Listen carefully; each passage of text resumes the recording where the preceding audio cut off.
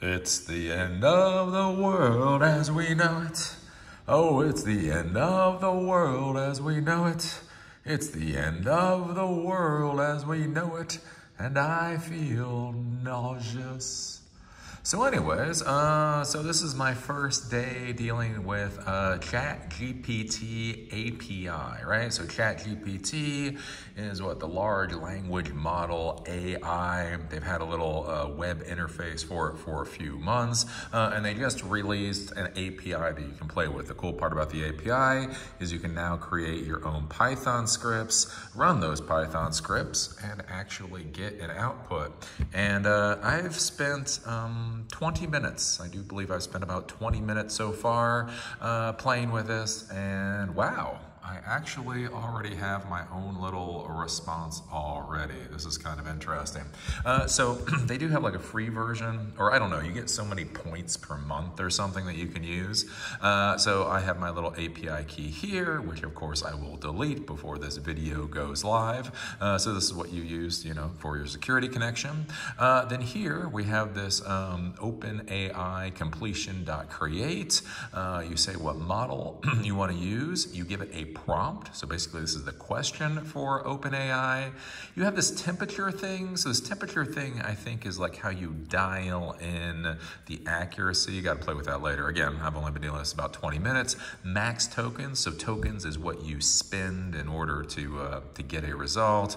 And then you have some other stuff here. Uh, basically, what I've added to this is I've simply said to print out the response. So response equals this. Uh, so basically what I do is I run the script, and then it just prints out what the response is. So this appears to be in JSON. So JSON is a data format for sending uh, for sending data uh, over the internet. Uh, so I will need to parse this JSON to get the values that I want out of it. But as we can see here, I can say, tell me a joke about a robot. And uh, what did the robot say when, a, when it saw a vacuum cleaner? I'm scared of suckers right? And, uh, and this is so easy. This is so easy. I can just sit here and I can say, um, oh, I don't know. Uh, tell me a joke about a clown and a tractor. God knows, I, I don't know what this is gonna do. Uh, control S, I'm gonna save, I'm sorry, control, uh, command S, we're gonna save. We're gonna come here, we're gonna run this. And uh, let's see what we get. Uh, what did the clown say when he saw the tractor? That's one big honking clown car.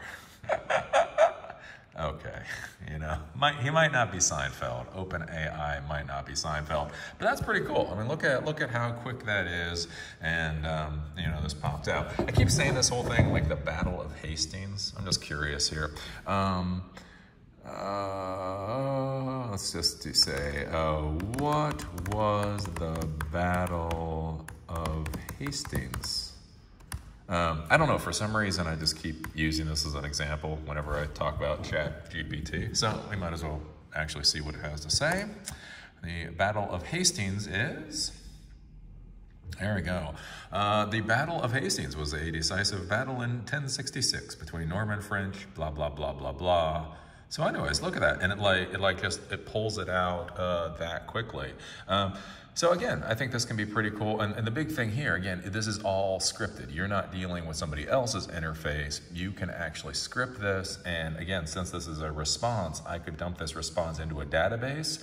I could dump this response into a file. Uh, and so the concerning thing here, again, what I am actually scared of, what I'm actually scared of is not nuclear war or anything like that, is that when the, the SEO marketers get a hold of this, they're gonna be able to do things like do a prompt of come up with 20 good blog post titles about X, Y, or Z. That could then get put into a list. Then you could do a for in that list, 4X in list, create post about this title, create post about this title, create post about this title. And imagine it's doing it this quickly. So imagine when you get SEO marketers that can literally write, you know, write, what is this? This is 16 lines of code. So probably more than this. Imagine when SEO marketers can write 50 lines of code and then auto magically create an entire, entire website with, you know, hundreds or thousands of blog posts on it. Um, you know, on a onesie twosie thing, that could be cool. When you start doing that at scale and you have thousands and thousands and thousands of people doing that at scale, it is going to turn the internet into a god awful mess. But anyways, um, again, you know, technically, from a technological standpoint, this is pretty cool and it's uh, pretty easy. The big thing is OpenAI. So when you go through and you're actually, um, yeah, when you actually go through and they give you the quick start guide, what's interesting with the quick start guide is they tell you to use Python Flask. So this has the whole, whole thing with Python Flask. Now again, I've been playing with Python Django, so I didn't want to use Python Flask. So what you actually do is you just use pip. So you use the, uh, oh, where is it? Um, pip3 install OpenAI, and so that will install the OpenAI module for you on your computer, uh, and then from there you're able to uh, to run the code. So that's the thing. You do not need to install Flask.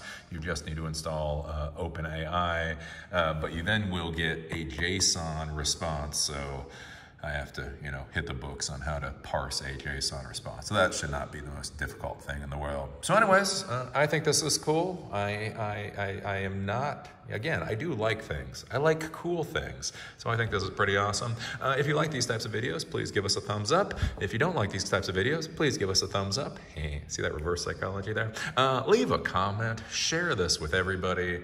And with that, I'll see you all later. Hopefully next week at our, we're gonna have a Django seminar here at Silicon Dojo. And, and I'm gonna spend the next week and a half, and we're actually gonna have a Chat GPT API seminar here probably the week after, probably the week. No, not, not guaranteeing that, not guaranteeing, but probably the week after we'll have a Chat GPT seminar here.